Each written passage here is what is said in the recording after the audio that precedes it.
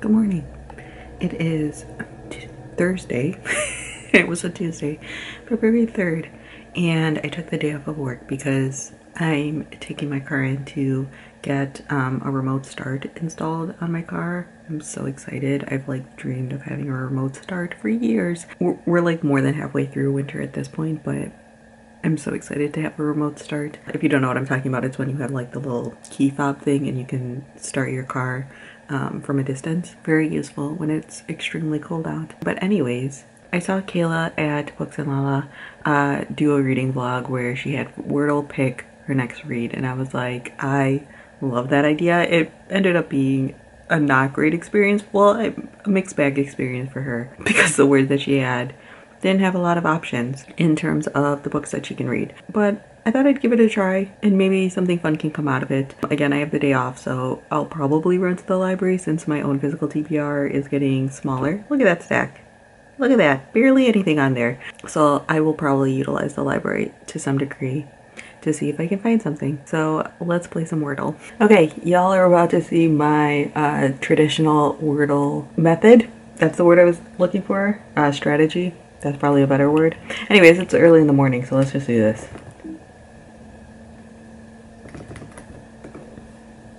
Ooh, ooh, three yellows. All right, all right.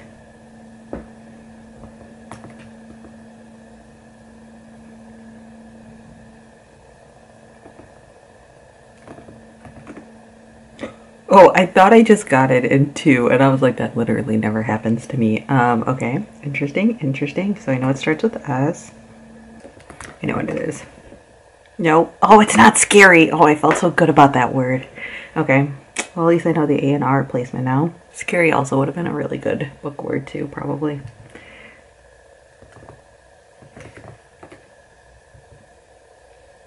Is this shark? Do we get to read a shark book? Oh. I'm getting close though. Shard? Interesting. Okay. Let, let's let's see if I can uh, find a book that has the word shard in it. So I'm on my library's website for um, ebooks and audiobooks, like that side of the website. Let's see what I can find. I typed in the word shard. I'm going to put in available now. I really don't want to do an audiobook, but the single shard book potentially could have been something. Mm-hmm, mm-hmm. Not seeing a lot right now. Maybe if I didn't click available now, I could see more options at least. Oh, this looks cute. The Bone Shard Daughter.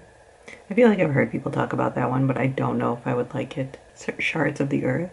Mm, maybe. Really what I should be doing is going to Goodreads and seeing what I can find there, so let's try that.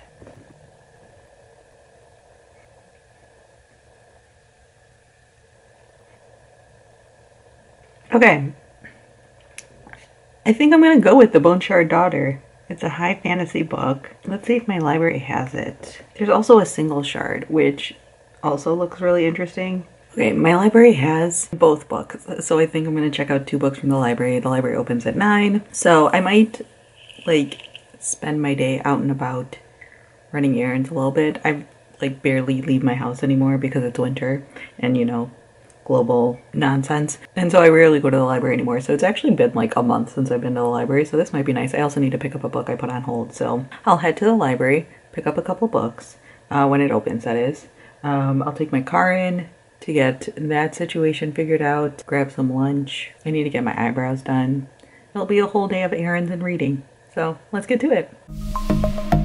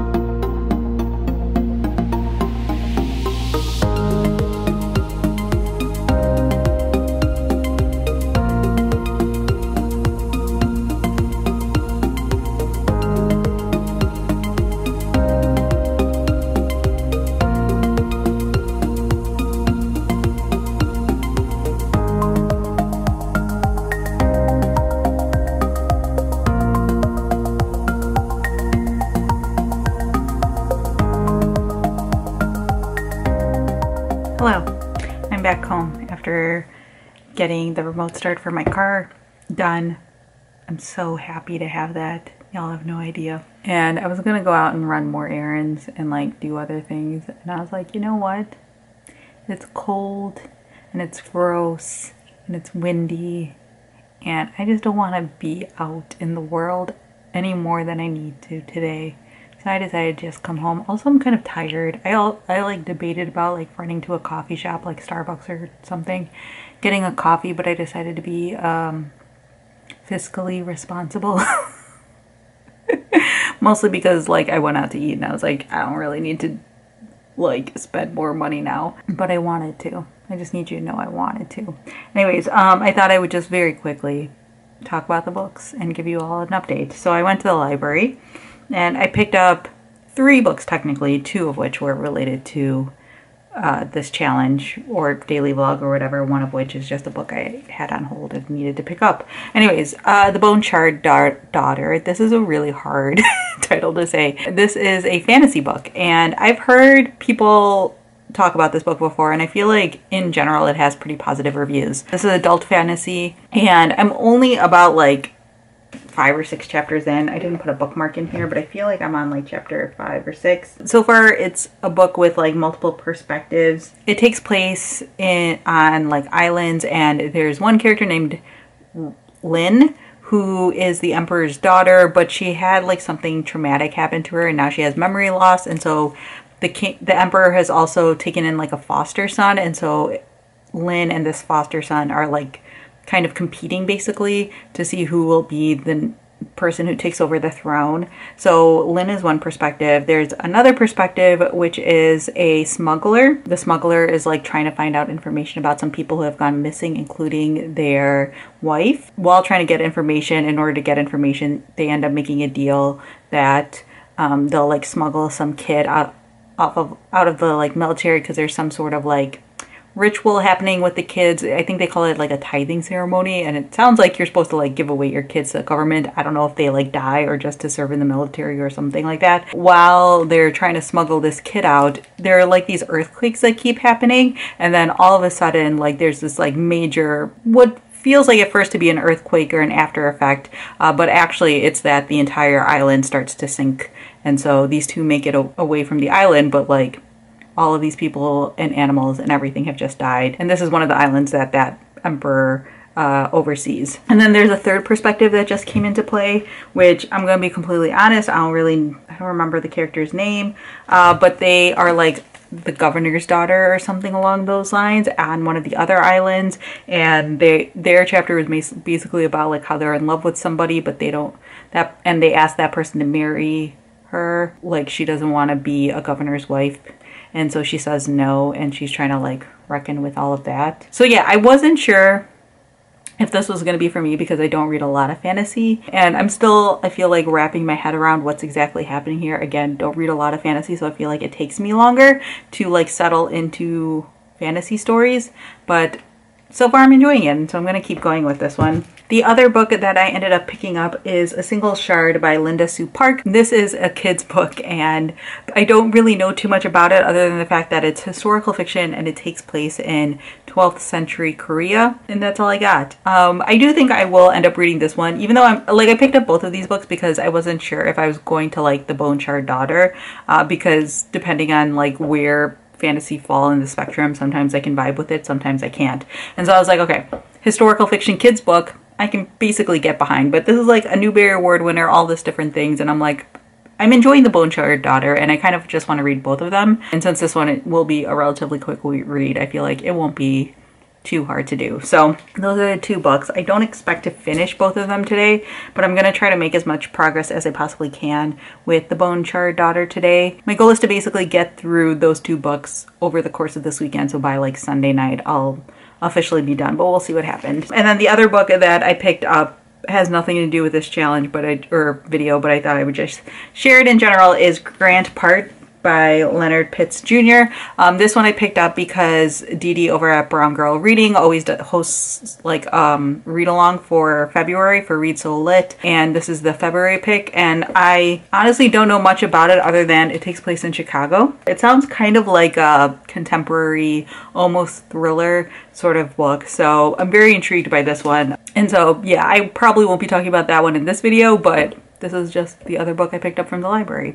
So yeah, it's almost two o'clock. I'm gonna like make myself some tea. I have a little bit of work I need to do, not like real life job work, but like YouTube stuff work because Fridays my videos go up and today's Thursday. So yeah, I have a little bit of work I need to do to get like that video for tomorrow ready to go. I need to like do the captions and make sure like all that stuff is like, you know, set up properly for when it goes live. So yeah, I'm probably gonna like work for a little bit before jumping back into a book. So that's my update.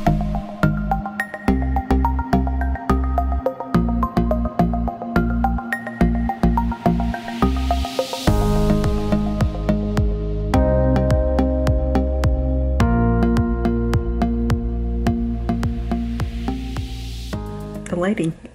This chair is terrible, so uh, let's try to do our best with what we've got. Um, so it's like 8.30 and I've been making pretty good progress. I'm like halfway through this book and it's not bad. I'm gonna admit I don't completely understand the magic system here and like what exactly is going on. There's like animals who are like enchanted. One of the characters meets a cat that can like kind of talk. It's interesting. Um, the cat honestly reminds me of uh, the cat from the Saga series. I mean, it talks a little bit more than that cat, but it's giving me sort of those vibes. But anyways, I'm enjoying the story for the most part. Like, it's not like blowing my mind. I'm not like fully in love with it. Um, I think part of it is because it's like multiple perspectives, and so multiple perspective books feel like they take a really long time to like set up ooh, excuse me, to set up because um you're constantly switching perspectives and so it takes a while. So now that I'm at the halfway point, I finally feel like things are starting to happen, which is nice. Also, it's funny because I was like thinking about what I was going to say in this update while I was still reading. I don't know if any other booktuber out there does that, but I do that. And I was thinking about the fact that there are like basically like three plot points um, going on here like or three like points of views three characters or like areas that you're following. And i was like these feel so like disparate. I could see like two of them and how they kind of relate to each other but the other one was like just really out there. And literally the chapter i just finished the two storylines seem to come together. So there's that. So yeah, I'm probably gonna read a little bit more tonight, but I have a phone date at 9 p.m. And then after that, I'll be going to bed because your girl's old and likes to go to bed early. So um, yeah, just thought I would provide a little bit of an update for where I'm at before bed. Um, I'm to keep reading this tomorrow, and I don't think I have anything planned after work tomorrow, so I'm hoping that I can finish this book tomorrow. I don't know if it'll actually happen, but that's what I'm hoping for. So, good night, and I will see you all. Well, you'll see me in a second. I will talk to you all in the morning or at some point tomorrow. I don't know when the update will come. Hi. It's Friday. It's lunchtime.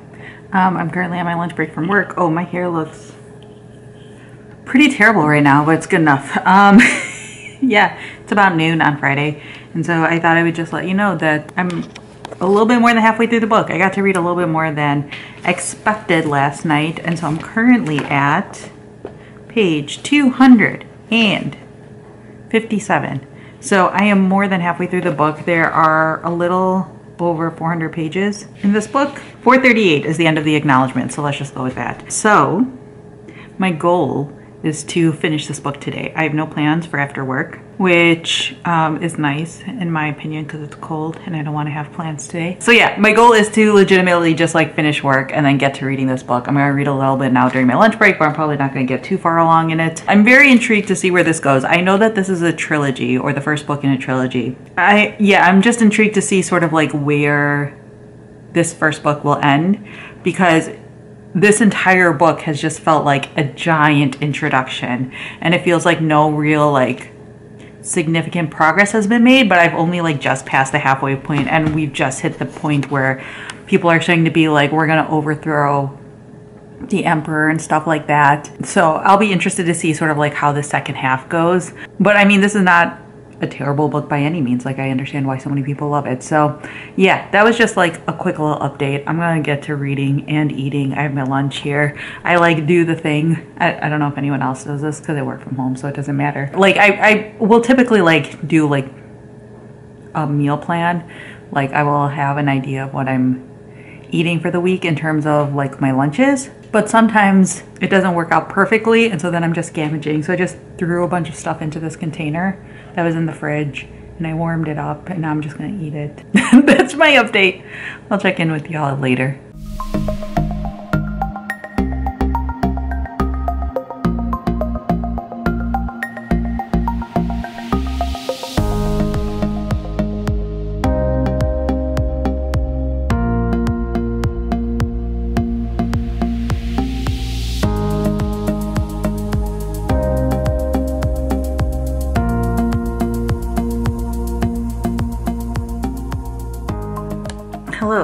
Focus camera, please.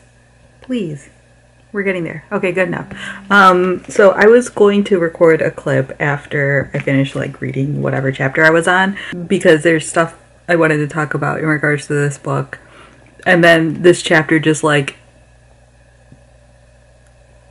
took a turn. So I'm going to try to do this and not get overly distracted. Okay, so one thing about this book that I've been thinking about a lot is the fact that because I'm someone who doesn't read a lot of SFF, things like magic systems and world building and stuff like that can sometimes be like confusing for me. And so usually when I'm really into fantasy books, it, they tend to be like sort of low fantasy where it's very close to our world or low sci-fi, same idea, very close to the world that we currently live in, and there just might be some elements added onto it.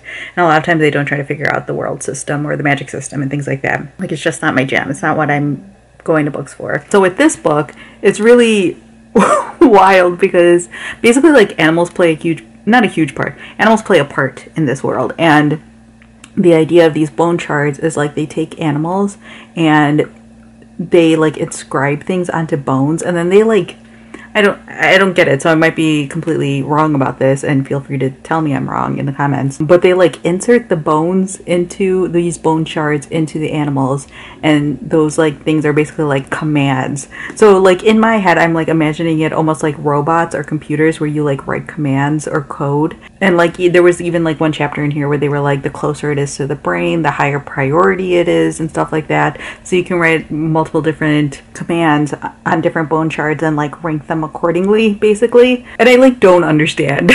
like my overly logical real life brain has a really hard time understanding what's going on, but I'm just like, okay, that's about as close as I can get to understanding the magic system here. In my head, I thought these were all like animals like we know them as animals and like maybe something a little fantastical, but then they just introduced like a winged fox and I was like, I don't get it. I mean, I will admit there's lots of different types of birds I don't know, so maybe that's like a thing.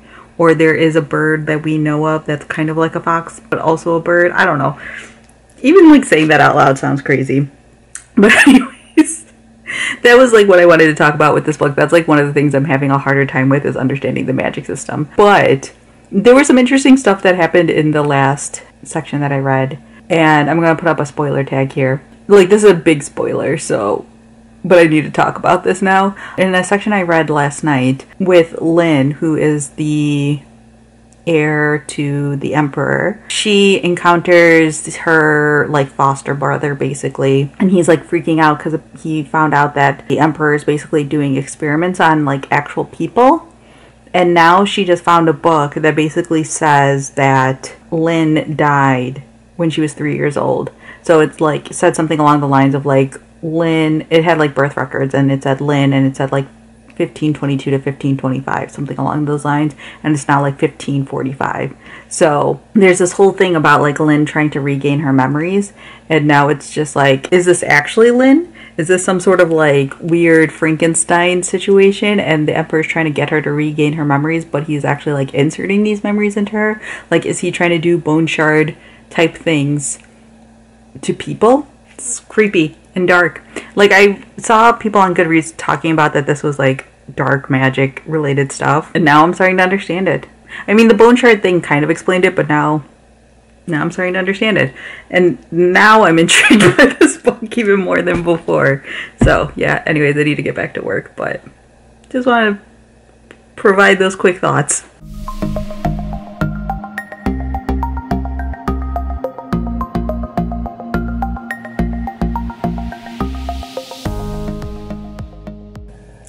Hello. It's 7:45ish. I'm doing a terrible job of making progress on this book. I still have like 100 pages left. So I will finish it tonight, but like we're at the point now where I care more about one storyline more than the rest of it, and the rest of it is a lot of action. So there's a very good chance I'm going to skim a lot of this. I'm also just kind of sleepy. I'll power through for the sake of the video. I'm also sitting in my basement. I'm like, hmm, this may not have been the best idea because it's cold. The reason why I came down here is because my niece was like blasting her music, which was adorable. I support it. Um, she's a preteen. She should be allowed to blast her music on a Friday night. But you know, it messes with my concentration. So I came down to the basement. And uh, it's nice and quiet down here, but it's also very cold. So I might head back upstairs. We'll see. I think I'm going to like head up to make my tea. We'll see if my niece is still like blasting her music. If not, I might just go back and read upstairs, but yeah, like I don't I don't imagine myself loving this book, but it's a solid 3-star read, so 100 pages left. I'll finish it. Hello. It's 9:15 and I finished the book. How exciting. I'm not going to do like a full review here because I'm tired. But this is like probably a three star book for me personally. But if you go on Goodreads, people adore this book. And I can definitely see why. I think the fact that it, this is like very like plot heavy appeals to a lot of people. Uh, it didn't appeal to me personally. Like I didn't feel super connected to any of the characters in here personally. And so like I had a really hard time really motivating myself to pick up this book. Like I, I feel like if I wasn't reading this book for this video, I probably would have given up partway through. However, I will say if I had given up on this book partway through, I definitely wouldn't have I would have missed out on some things because there were like things that happened towards the end of the book that I did really enjoy, some really interesting reveals. There were parts of this story that I was able to guess, but there were a decent amount of things that happened in this book that I also did not think would be coming. So, you know, there's that. The multiple POV thing, y'all know I have mixed feelings about because, like, Sometimes it works for me, sometimes it doesn't. By the end of the book, I mostly just wanted one perspective because that was the one I was the most interested in. And yeah, I, this was like one of those books where I didn't hate my experience reading it. There are parts of it, again, that I really enjoyed, and I think some of the world building, or not world building, but like the way the magic system works and things like that, is really unique in my opinion. I obviously did not understand it all, um, but I like went on Goodreads and looked up some of it, and I was like, oh, that's how that works. I still don't really understand like the magical creatures and how that is set up because these people seem to just like stick their hands in these creatures. Like where? Like in my head, I kept imagining it being like a stuffed animal where there's just like, like I don't know if stuffed animals are still like this, but like when I was a young child, uh, which is, you know, 20, 30 years ago at this point, sometimes there would be like a slit the stuffed animal, um, maybe a zipper or something like that, and you would could like stick your hand in there and pull the stuffing out. I was like imagining things like that, and I'm like, I know that's not really what's supposed to be happening in here, but like the only other thing I could think of is like they're either doing surgery type of things on these creatures or they're like sticking them in crevices and that just gets gross and I don't want to think about that too hard. So if anyone understands how the constructs work in this book, feel free to hit me up in the comments. But yeah, would I recommend this book? I would say if you're someone who reads a decent amount of fantasy books and you like plot centric stuff um, and you want like a unique magic system, I definitely think this is worth picking up. I think that there's a decent amount of balance between like family drama and political intrigue sort of stuff with like other storylines and other POVs that this will appeal to a pretty broad audience, hence why it has such high ratings on Goodreads. I am kind of intrigued by this book. I haven't like fully decided yet if I'll pick up the rest of the series, partially because I'm really bad at reading series. But I do know like I'm not like chomping at the bit for the next book or anything like that like I was with some other like fantasy books I've read in the past. But you know, fantasy is not like my bread and butter. So I feel like this one has pretty decent appeal. Um, I also feel like this book feels a little bit like a, a bridge between a young adult fantasy and an adult fantasy. Like it's definitely like categorized as like an adult fantasy book, especially because it gets really dark in there sometimes. But if to me, like the way the characters are developed or the lack of development, you might say, um, it feels some like something I would tend to read with like young adult fantasy. So if young adult fantasy is your jam, this book might be your jam. So yeah, this is a trilogy. Um, the second book is out. I looked up and the third book is coming out this year. So this might have actually been a really good time to pick up this book because if I read like the second book later this year and then I can pick up the third book by the end of the year or something along those lines. And I feel like that rarely happens. And overall, I would say like this whole like having Wordle pick my book thing be like this feels like a huge success. Like i know i still have that other book uh, sitting on my shelf from the library uh, but i think i'm gonna wrap up this video here just because i'm tired and there's other things i want to read. But this was kind of fun. Like there's no scenario that i could have imagined outside of this one where i would have picked up this book. Like this is not something i typically pick up but it, it was an enjoyable experience and now i kind of want to just have wordle pick my books for a while. So if that's a series that you would like to see happen on my channel, let me know down in the comments below. Um, but yeah, let me know what you thought of this vlog. If you've read this book at all, let me know what you've thought of that. Or feel free to leave any other comments down below that you would like. So yeah, that's all I have for now and thanks for watching.